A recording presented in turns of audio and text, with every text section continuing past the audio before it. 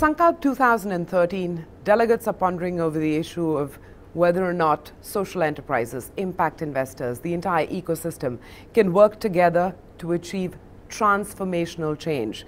Anurag Agrawal is Chief Executive Officer at Intellecap and he knows this space, I think, like few others. Intellecap, of course, has been a first mover enabler in this space. Anurag, glad you could spare the time.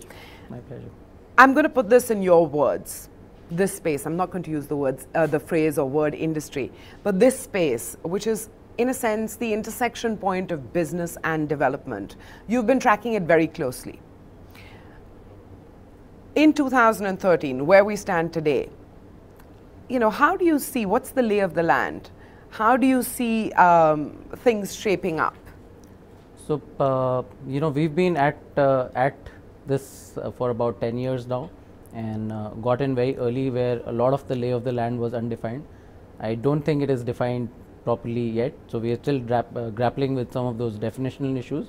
But what is most encouraging is that, you know, there is increasingly better talent that is getting into the space so there's increasingly entrepreneurial activity that is happening in the space.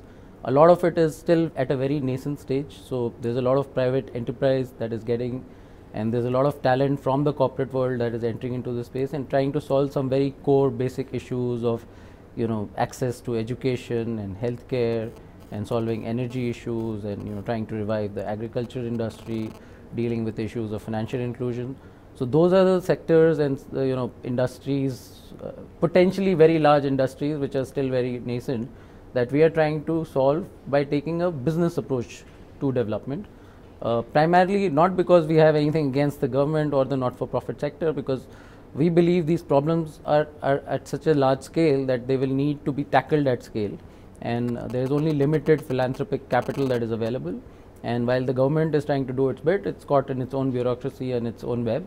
So, so we are trying to do and you know get people uh, aligned around this movement and step and in and fill the huge gap. Yeah, and and uh, also hopefully you know get to a point where we can very actively engage with the government and with the not-for-profit sector. So the way I see it is that uh, you know no individual organization will be able to solve these big issues. So it will need to be done in a very collaborative format, and that's what we are trying to do through a forum like Sankalp, where we are trying to bring people together and trying to ask some very basic and primary questions to ourselves and to everybody around the table and see what we can do to solve them. The fact that you're still asking basic and primary questions, is that indicative of um, a lot of maturing for this space that's still ahead? I mean, basically, in a nutshell, what I'm asking is where are we today and how do you see the space growing, expanding its impact, expanding its influence?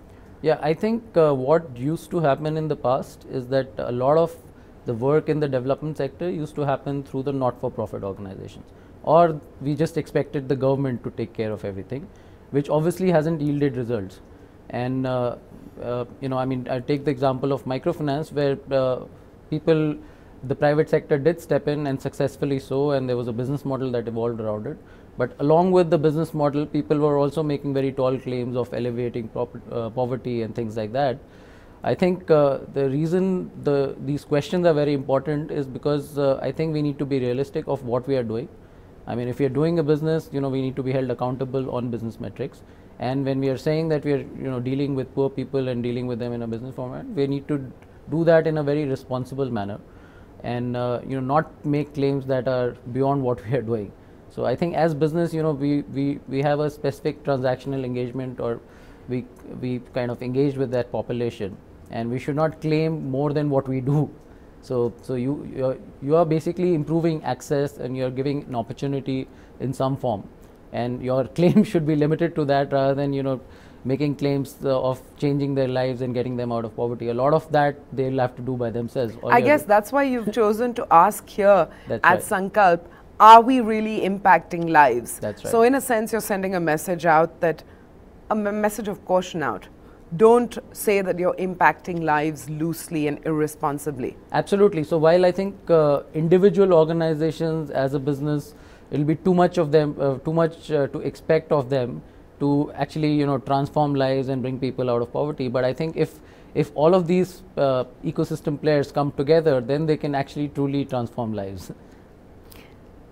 key gaps, still glaring gaps that I you think see? uh, uh, some of the key glaring gaps are uh, while there is a lot of interest and you know there are good talent that is coming into this uh, space to solve these problems, there's obvious gaps in terms of uh, you know just resources. So while there is a lot of resources with the government, that's not really flowing through.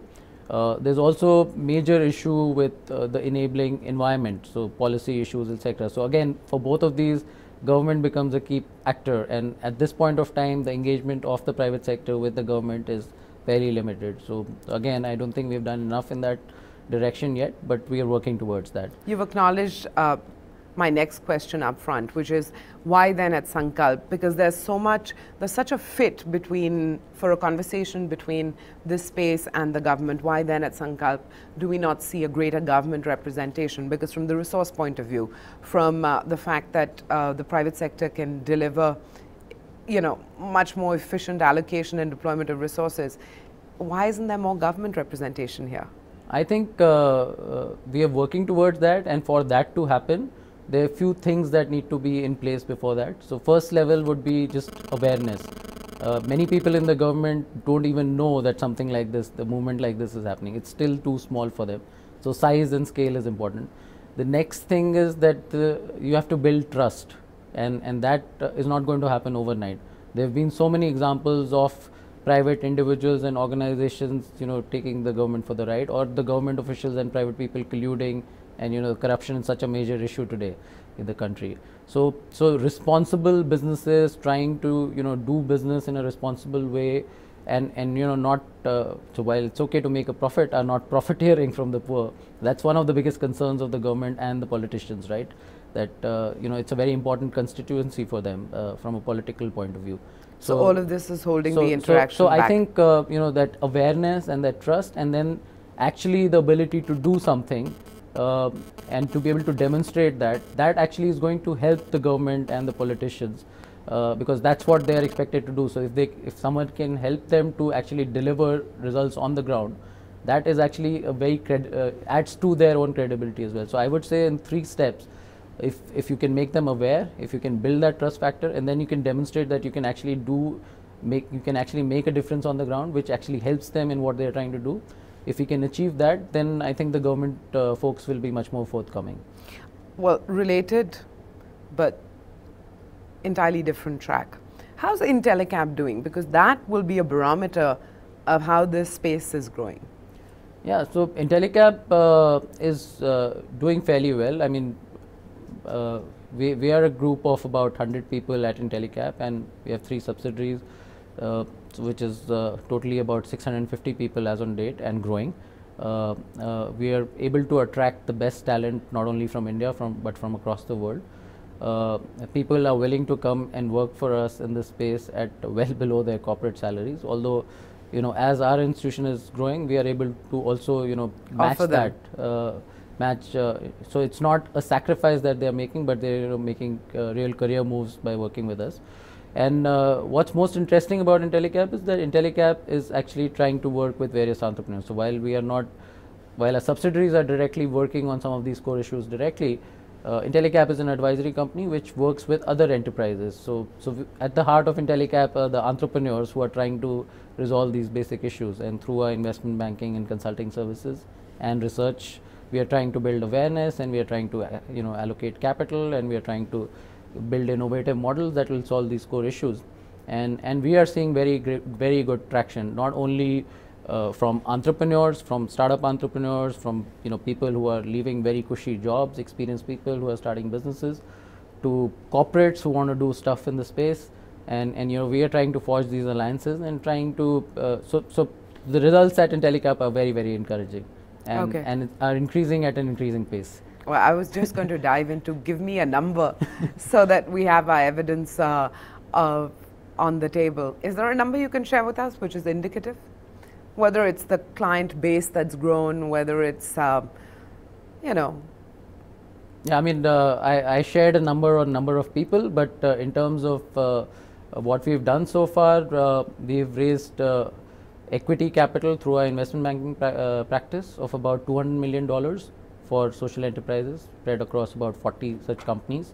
So far, uh, Sankalp itself uh, has seen participation of over 1,000 enterprises over the years. Uh, over 30 of these companies have raised 130 million dollars uh, through I won't say through uh, by, by, just participating in Sankalp, but did did help them in some form.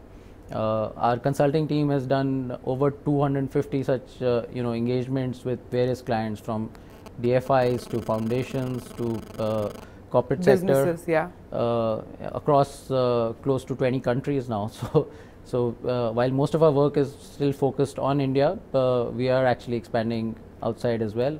And the other focus is that we are trying to go deeper within India. So instead of just focusing on the metros, uh, we are trying to go to the low income states. We took Sankalp itself to uh, Bihar last year, and we intend to you know uh, take it across the low income states to build greater awareness again, and uh, you know recognize interesting business models and interesting companies and channel capital to them. Well, you've got a full plate and many busy years ahead. Anurag, thanks very much for your time. Thank you, Manvi.